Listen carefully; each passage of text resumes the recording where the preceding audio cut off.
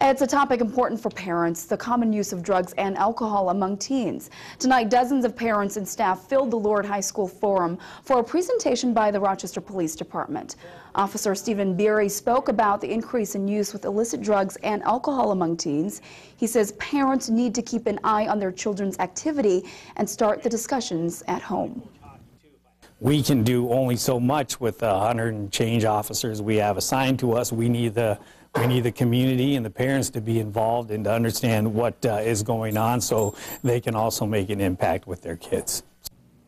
Officer Beery also says he has seen an increase in violent crimes related to the sale and purchasing of drugs among high school students throughout Rochester.